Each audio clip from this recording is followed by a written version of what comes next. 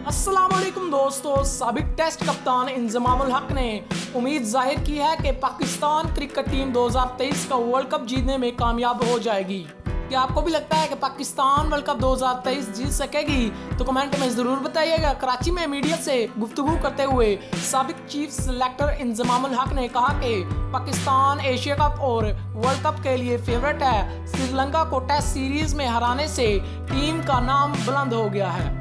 Pakistan cricket team इन दोनों बेहतर कारकर्दगी का मुजाहरा कर रही है और इसका अच्छा कॉम्बिनेशन बना हुआ है। सबक कौमी कप्तान इंजमाम हक ने कहा कि कारकर्दगी का तसलसल बरकरार रखते हुए टीम वर्क की मदद से हम वर्ल्ड कप और एशिया कप जीत सकते हैं। बड़े यूनिट्स में हमारे खिलाड़ी ज़्यादा मेहनत और जज्बे के साथ खेलते हैं। ये अमर खुश आइंदा है कि दोनों मेगा यूस बरसगीर में हो रहे हैं। यानी कि एशिया कप और वर्ल्ड कप 2023 एशिया में हो रहे हैं।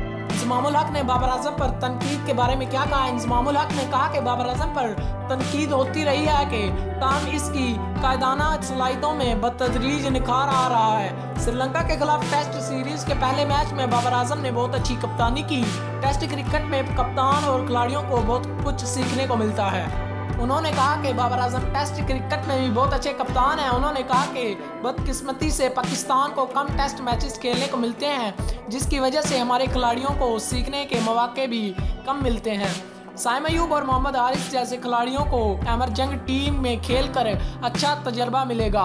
एमरजंग कप में साइम अयूब और हारिस को भेजना अच्छा फैसला था। अगर आपको वीडियो पसंद आई हो तो इसे लाइक ज़रूर कर दीजिएगा।